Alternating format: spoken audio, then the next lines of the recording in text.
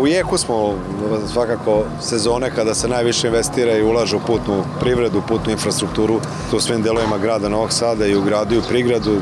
Tu radili smo kompletno kanalizaciju, uradili sportske terene u školi, opremali jaslice, sada klub penzionera, usređivali centar, centar sela, centar mesta i vidjet ćemo šta je sledeće, da je to vatrogasni dom. Radili sve, pomagali oko Svetosavskog doma, parohijskog doma i vidjet ćemo šta je to sledeće, šta će mesta zajednica da predlože u Budisavi da radimo u narednom periodu.